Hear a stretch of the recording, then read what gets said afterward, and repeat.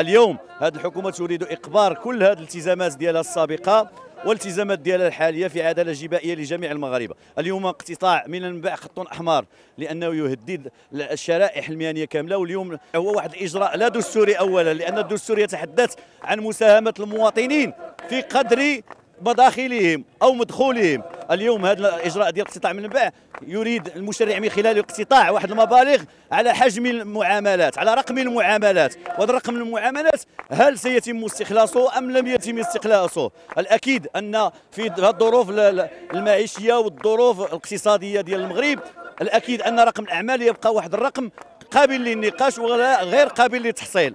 هذا هو الإشكال المطروح.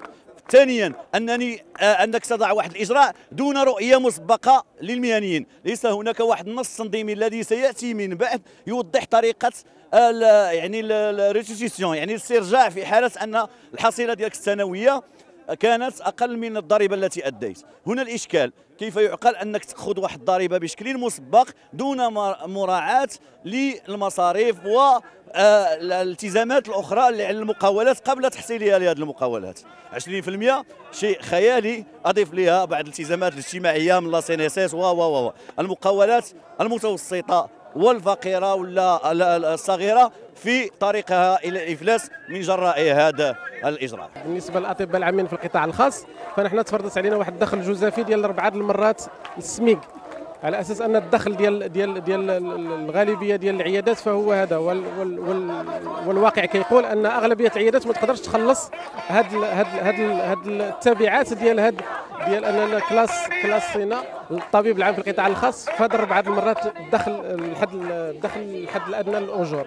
بالاضافه إلى ذلك فكاين ضريبة جديدة اللي خرجت في القانون المالي 2023 اللي كتخص الاقتطاع من المنبع. يعني أننا كأطباء خصنا نوليو نسبقوا الضريبة يعني مباشرة ولا أثناء الاخذ الأخذ ديال ديال ديال القدر الفلوس من المواطن فهذا ما يمكن إلا أنه يزيد ينهكنا لا معنويا لا ماديا خصوصا أن كما كتشوفوا الغلاء في, كل شيء المواد الأساسية اللي كنخدموا بها في إطار العيادات فهي ما بقاش عندنا فين فين نزيدوا هذا الضغط الضريبي الهائل إضافة إلى الغلاء اللي كاين في مختلف السلع بصفة عامة.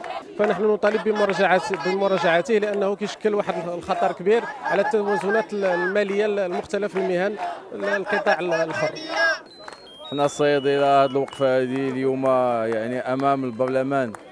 يعني تنديدا بواحد العدد ديال الأمور اللي جا بها المشروع ديال القانون الماليه الجديد 2023 واللي فيه ارتفاع ديال النسبة ديال الضرائب على الشركات المتوسطة بالخصوص والصغيرة.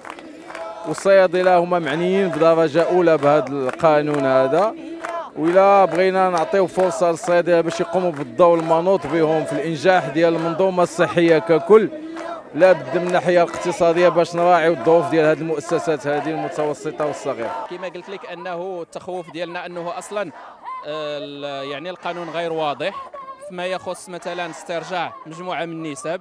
يعني القانون فيه مجموعة من الحيثيات مجموعة من التفاصيل اللي هي ما واضحاش اللي ربما من بعد عاد غادي توضح يعني ما كاينش واحد الوضوح فيما يخص هذه القوانين. كما قلت لك هي الفلسفة فلسفة جديدة لم تكن موجودة اللي هي الاقتطاع من المنبع. يعني الآن الاقتطاع غادي يدار في الأول ما غاديش يدار في الآخر ديال العام.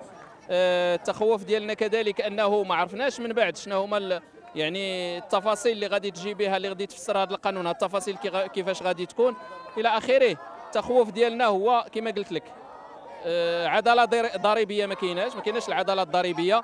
هذه القوانين جات كتمس آه، بالضرورة الطبقة المتوسطة والمقاولات الصغرى والمهن الحرة. وبعكس أنه كنشوفوا أنه كاين تخفيض للشركات الكبرى مثلا في النسب المئوية ديال ديال ديال ديال, ديال الاستحقاقات الضريبية ديالها في حين أنه كنشوف ارتفاع كبير آه، للنسب المئوية اللي كتخص هذه المهن الحرة وهاد وهاد الطبقه المتوسطة.